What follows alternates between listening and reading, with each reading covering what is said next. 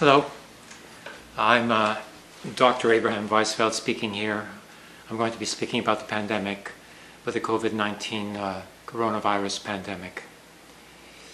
My qualifications, I should mention, are uh, begin with a scientific education, a Bachelor of Science degree from the University of Waterloo. And uh, because uh, various factors, uh, I transferred to the political science departments and completed my master's at York University in Toronto, and then did my doctorate in political science at the Université du Québec à Montréal, here in Montreal, Montreal, Quebec, Canada. Now, I have been campaigning for a program of immunization to deal with the pandemic. This derives both from my scientific education and my political uh, social implication. The factors which uh, lead to this conclusion of an immunization campaign or treatment derive from an approach which I would call uh, social biology. That is, the treatment of uh, medical conditions not on an individual case by case basis, as is presently the case, even within what's called socialized medicine here in Canada.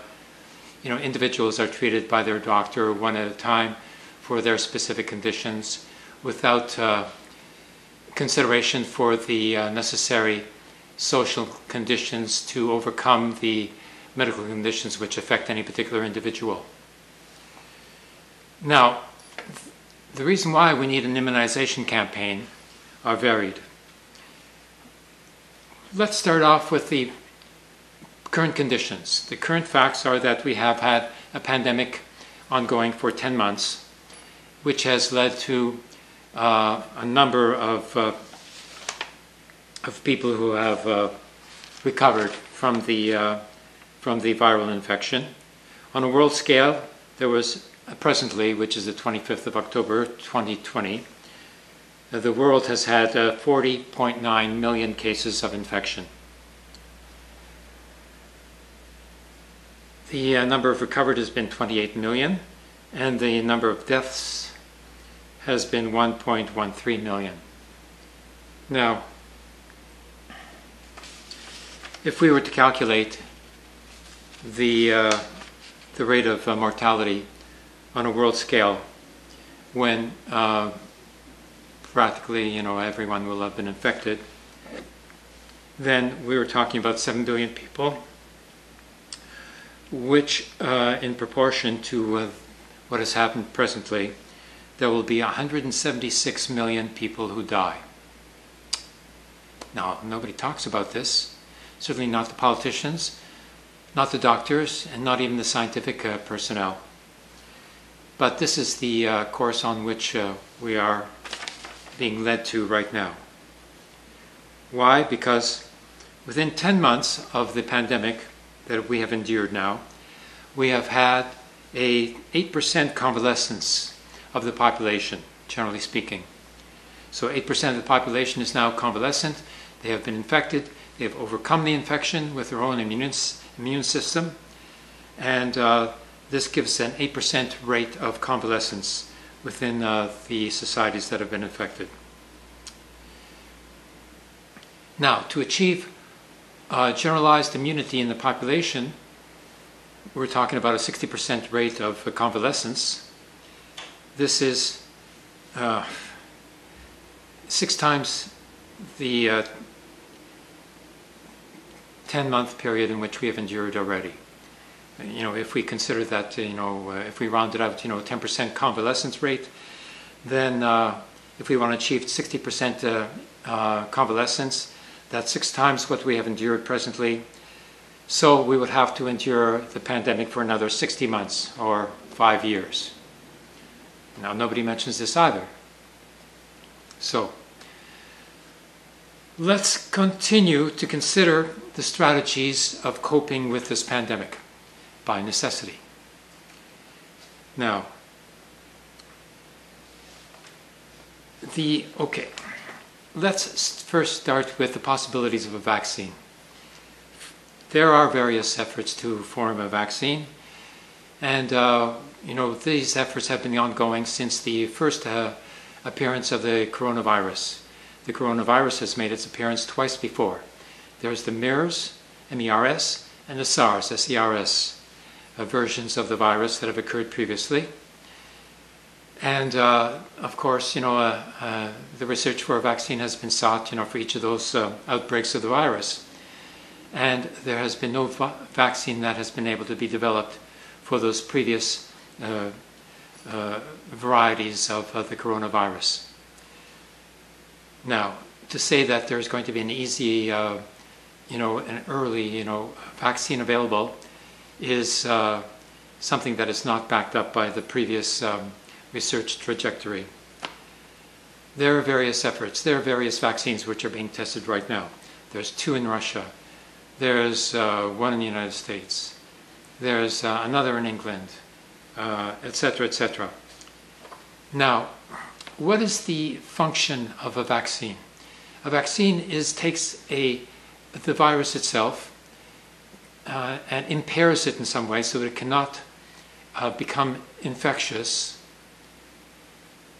and by linking into the cellular structure of the human cells, by basically, you know, chopping off its, its spikes, the spikes with which it connects to a cell and injects the virus into that cell, which then uses the cell's mitochondria to uh, duplicate itself.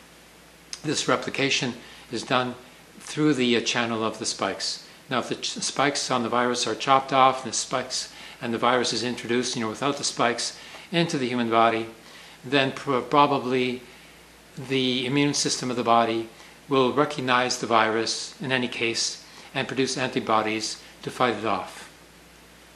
Now, what if the immune system cannot recognize the virus properly and doesn't recognize the virus as the original virus, then is producing antibodies for a virus that does not exist. One problem with the vaccine.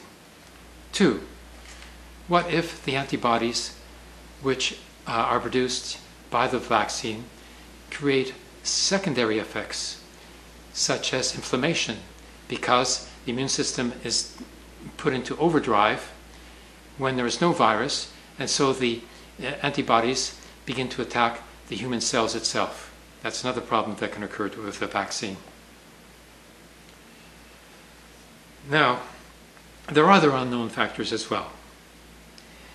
Uh, in terms of political economy, you know, the various governments have promised billions to the pharmaceutical companies to pay for the virus, which are, which is uh, a, a, private commodity, which is being held in, private corporations, which are going to demand, you know, to be paid for it by the governments, that is, by public funds.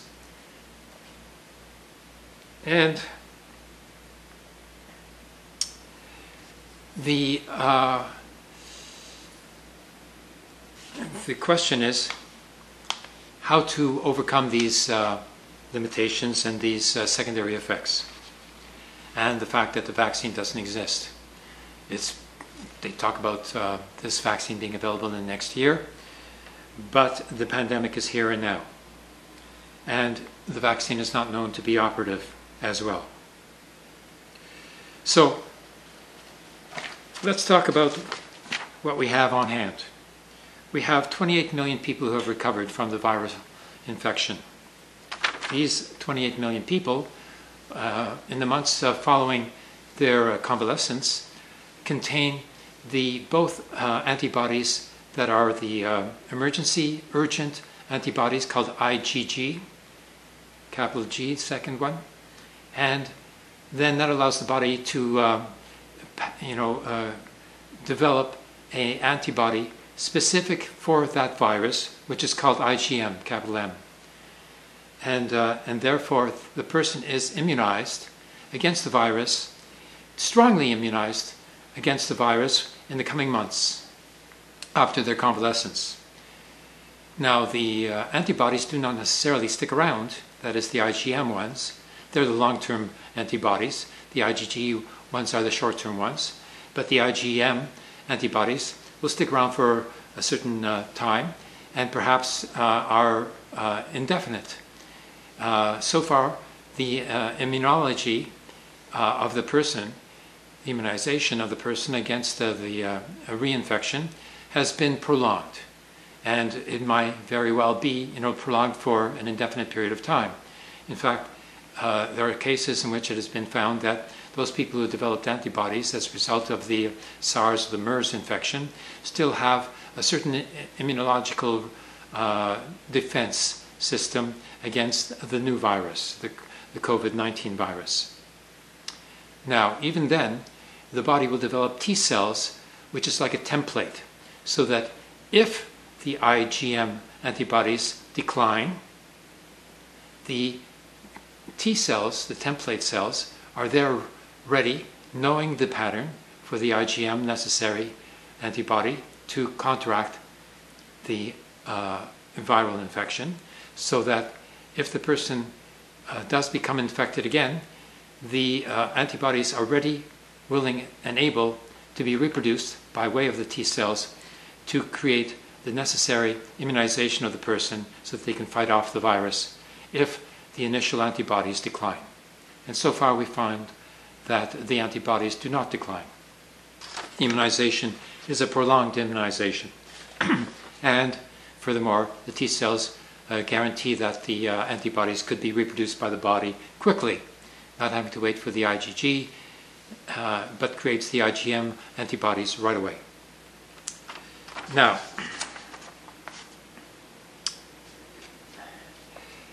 the reason why, okay, now, the alternative, of course, is masks, uh, social distanciation uh, in French, uh, social distancing, uh, and uh, isolation, even uh, amounting to a lockdown again, Uh, which leads to uh, general uh, economic collapse and also generalized um, mental discomfort and mental illness on a endemic scale. So how to avoid that, even though it may be necessary at certain moments in order to avoid the uh, saturation of the hospitals, which would then have to leave people to die in their homes. How to overcome these constraints. The way in which one can become immunized or become immunized by means for the purpose of prevention of becoming infected in the first place is available. And in fact, it is being used to some extent. It is not being publicized, though. For instance, in the United States of America, there are already 70,000 people who have been treated with convalescent plasma. What is convalescent plasma? Convalescent plasma is the part of the blood that contains the antibodies the uh, yellow serum in the blood, which is separated from the red blood cells and becomes yellow as a result, and which is transfused into a patient to uh, cure them of the infection and may actually be used to transfuse into a patient who has not yet been infected by the coronavirus. So, it is a preventative treatment and very powerful. Uh, and it doesn't have any secondary effects because the antibodies are patterned to combat the particular virus that we were dealing with, and not with any variation of it, not with any dumbed down version of the virus, but the actual virus itself can be treated by the IgM antibodies that are created in order to stop this particular virus. They're available. They're available in the blood of the 28 million people who are already convalescent. So, for the uh, convalescent person to provide uh, a donation of their blood, uh, they, uh, there was a machine in China which I saw a picture of, which takes the blood from the person and separates it from the blood plasma immediately and uh, transfers the red blood cells back to the person in the first place so the person doesn't even lose their red blood cells, which they don't even have to regenerate. And they sort of just walk out of the treatment center and they have, you know, as a result, you know, provided a donation of the convalescent plasma, which can then be transfused into another patient who's either sick or who is seeking to become immunized so they do not become sick. Now, it seems reasonable. It is being used. It has been approved for as a treatment by the FDA, Federal Drug Administration of the United States. It has been approved for testing by the Pasteur Institute in Paris. It is being used in the National Health Service of Britain already. And the last report that I heard of, which was months ago on Al Jazeera, 5,000 patients a week are being treated by convalescent plasma in England. In the United States, the Mount Sinai Hospital is using this treatment, and 70,000 patients have already been treated, and there is no reports of any uh, secondary effects or uh, undesirable effects. So this is a proposal for the social biological treatment of the population at large as a strategy to overcome the pandemic. Now, if this plasma, the 28 million worldwide, is available, and people are being infected at a rate that is not more than, uh, let's say, uh, you know, a million uh, a week, then you know the uh, convalescent plasma can be used to treat the, the population so that the pandemic can be reduced immediately to a nominal state. This is mass immunization that we're talking about here. Now, the cost per person of such a treatment is certainly uh, uh, something to take into consideration. And it's also a factor to be calculated when we want to consider the, uh, the available uh, social uh, health sanitary facilities that are available to do so and the personnel, the social personnel who are, you know, working to heal the people who are infected. And uh, one wonders if there's enough personnel, doctors and nurses, and technicians, and laboratories, and the machines necessary to isolate the plasma. All of this is limited, too limited. Now, the money should be going into the personnel and the equipment necessary to make the mass transfer of the antibodies to those people who need it and who do not want to become sick. Now, these billions of dollars necessary for this procedure are instead being held back in reserve to pay for a vaccine that may or may not work in a year or two. So, if people knew about the choice involved here, which should we expect people to support? Which people uh, will support you know, a vaccine that doesn't exist and may have secondary effects, and who will support you know, a program of immunization that is immediately available with no secondary effects. Obviously, you know, convalescent plasma immunization treatment is the desirable treatment. Both by those people who are seeking to avoid a lockdown, both by those people who are disturbed immensely by the lack of social interaction or even those people who find, you know, wearing a mask to be suffocating, even though it has nothing to do with the intake of oxygen itself, but is merely uh, a device which protects from the gobulets of people who are coughing or those people who are breathing with their aerosols which contain the virus as well, it has been found. So all of these discomforts can be overcome with convalescent plasma. So I'd like to uh, tell you that I have an article that was published in the, uh, the Gaza Post of Palestine uh, proposing such a treatment. And uh, it is both available in English and French, and I can make it available to you if you wish by email. And you need only contact me at the email address which I will give you now. S A A L A H A at F O K us.name. So you can stop the video and replay it in order to get the information. Or I can just tell you that it's S-A-A-L-A-H-A at focus with a K dot name. Salaha at focus dot name. So again, this is uh, Dr. Abraham Weizfeld speaking to you about the campaign for immunization by mass strategy of convalescent plasma uh, treatment for the transfer of antibodies for mass immunoculization, mass immunization, and for the treatment of those people who have become ill already, so that uh, we need not have to suffer the projected 176 million people who could be dying, you know, after a prolonged, you know, exposure to this pandemic on a world scale. Thanking you for your attention, and uh, I will now make another video that is dealing with the questions of uh, the uh, social uh, consequences of the pandemic, which are severe as well. Bye for now.